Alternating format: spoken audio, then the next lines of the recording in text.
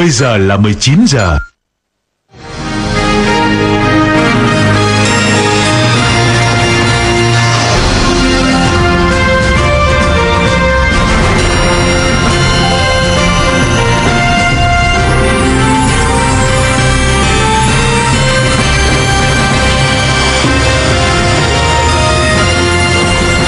Xin kính chào và cảm ơn quý vị đang theo dõi bản tin thời sự tối của Đài truyền hình Việt Nam.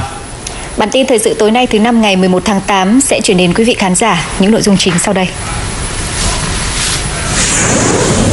Chủ tịch nước Nguyễn Xuân Phúc làm việc với Hội đồng Lý